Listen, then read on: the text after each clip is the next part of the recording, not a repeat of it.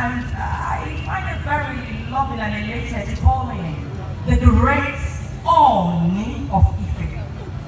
Kabiyesi, we thank God for your life indeed. If I would not speak for myself alone, I wouldn't have been here without you. You have helped me, and you have helped thousands of lives to discover their destiny in life.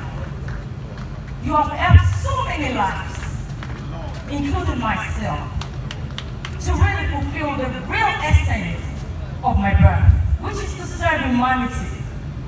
Kabiyesi's life has, has been a good legacy for so many of us.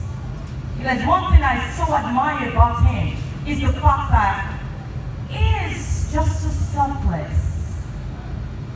He's a super generous king. Kábíyèsí, ẹ pẹ́.